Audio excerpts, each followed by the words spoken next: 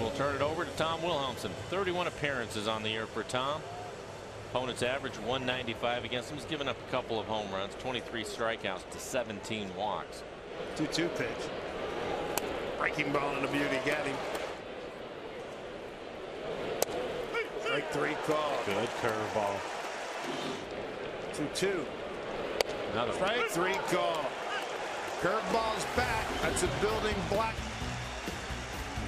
for Tom Wilhelmsen. He has a clean inning. Strikes out the side. Home seventh coming up.